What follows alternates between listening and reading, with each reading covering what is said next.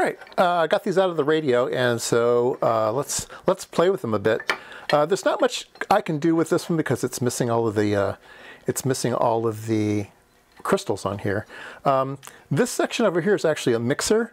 Uh, so once the frequency's been generated, it gets mixed with an LO or generates an LO or something like that. So that's why there's some uh, coils in the back here to do some to do some mixing. Um, so this one's this one's not too much of interest right now. Maybe later it will be. But this is the one that has the uh, switch on it, and it's mounted directly to this thing. And uh, I have uh, a whole bunch of, actually there's 10 crystals in here. And each crystal has a um, variable capacitor, so you can dial in each one very, very accurately. And then there's a, an open space uh, here for your own crystal, okay? So I found a crystal, we'll just, we'll just plug it in for fun, okay? So we, so we have a crystal, we have a crystal in there, so if we select that crystal, we'll see if it, if it works or not, all right? So what we're gonna do is we are going, let me rearrange, rearrange camera here. All right, so I have it here so we can turn the little, turn the little dial here, okay? And we're gonna start at V, and V says pass through the VFO. So that comes in on this wire here, and there's nothing attached. So if we go to the oscilloscope, we see that there's a, that there is nothing, nothing there. Um, and then if I go to the first click, um, we get uh, 11 point 549. And we go to the next click. That's, this is zero.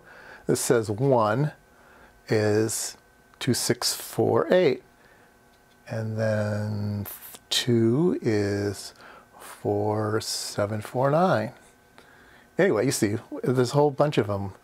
Uh, 295. Here, let's uh, change the resolution here to 5. That'll speed it up a bit. There we go. We'll go back. Yeah, this is faster. So 0 is 355, 265, 475, 385, 295, 505, 415, 325, 535, 445, and then there's the crystal that I stuck in. And that one is a one, one four, 144 megahertz crystal, so it's measuring uh, 6.1435. So anyway, uh, there you go. So that's what this little box does. Uh, it just has a whole bunch of whole bunch of crystals in it with really fine adjustments. And I'm not sure what to do with this thing. But let's take a look at the schematic. That's At least that's interesting. Okay, I've redrawn the schematic that I found. Uh, so there's a whole bunch of crystals. There's 10 crystals plus the one I added, 11 crystals, and they go into a very simple, a very simple oscillator. Uh, there's a transistor that's uh, basically biased uh, in the middle, 22K uh, and 10K, and uh, then it has a positive feedback capacitor. So when this thing starts to wiggle because of these LC networks, um, that's going to wiggle this point, and that wiggles in phase. So when this goes down, uh, this is going down.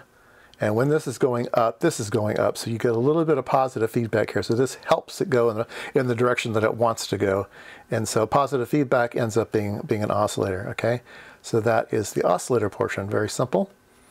And then it gets capacitively coupled into uh, the next section, which is just a little buffer amplifier. Um, and yeah, there you go. So that's all there is to this. It's just two transistors and a whole bunch of uh, whole bunch of trans uh, uh, crystals and uh, and capacitors, and that's uh, all that was jammed up in that little box.